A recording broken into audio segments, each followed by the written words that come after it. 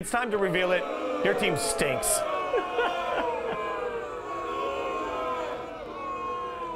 Your team stinks. So here's the thing.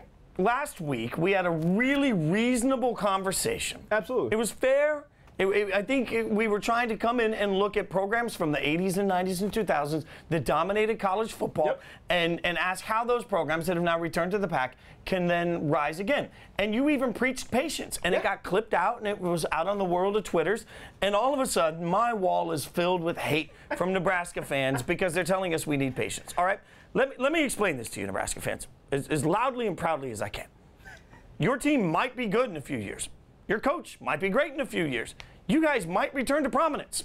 But today, right now, your team stinks. And I don't just mean a little bit, your team is terrible. You should be embarrassed by how bad Nebraska football is today. Okay, I can't say it any louder than that. I get they might become good at some point. Congratulations. But today, right now, like save yourself the Saturdays, go to the fair, go to the flea market, and stop watching this trash. You okay? Got Yeah, that I'm off good. your chest? You feel I okay? feel- I okay, just want to make sure you was good. Nah, but I'm not going to sit here and refute anything you said Nah, because you they very actually much. are trash. Like, it's just been a lackluster performance in so many different ways for that Nebraska team. The fact that they got off to the worst start in program history since, what is it, 1945 at this point, with a loss today.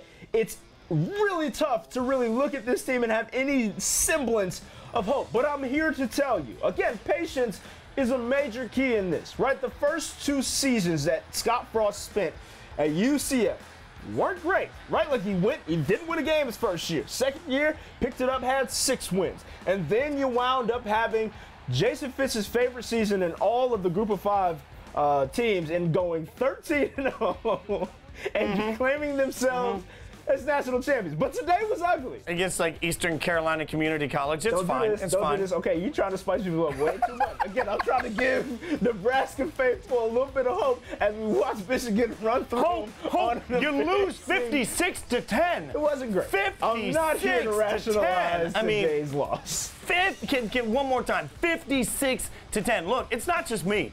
It's not just me talking about things. It's not just me looking at the fact that this is rough, right? Like they, their own players, their own players. Look at Tanner Farmer. This was earlier this week talking about what teammates need to do. Check this out. any guys that aren't buying in, either buy in or move out for the guy who's going to buy in. Um, you know, as, and as, as leaders, we have to step in and make sure we need to hold these guys responsible. Um, sometimes it's just they don't know any better. It's truly just committing everything. I don't have free time. I'm up from dusk till dawn, dedicating myself to football and schoolwork. Make sure I'm passing my classes, and I want to do everything I can. You doing extra stuff. If you want to go to yoga, watch more film. That's what it takes. You don't really get a social life during football season. Either, either leave it or take it. That's all I got to say. When you have a player saying that out loud, there's a message being sent. And the message being sent is very clear there. And look, uh, you're right. At some point, Nebraska may be great. Today, in this moment, it should be noted FPI, who's smarter than all of us, the Yes. stats guys, uh, note that the Huskers are underdogs in six of the eight games that are coming up. Next week's game against Purdue is a virtual coin flip.